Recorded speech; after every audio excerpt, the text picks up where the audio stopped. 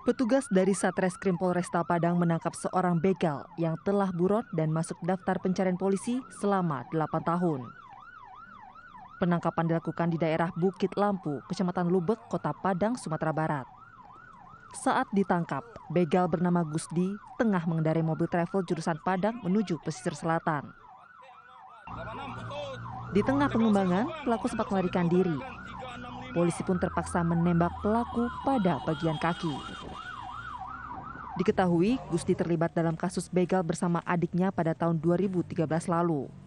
Saat itu pelaku membegal seorang pengendara truk dan membuang korban ke dalam jurang di daerah Bungus, Teluk Kabung.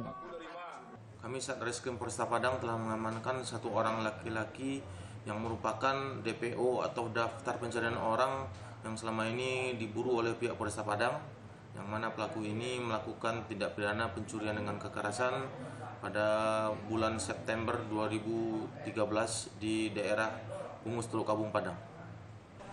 Untuk mempertanggungjawabkan perbuatannya, pelaku terancam hukuman maksimal 7 tahun penjara. Dari Padang, Sumatera Barat, Jobdi Nursyah untuk CSI RTV.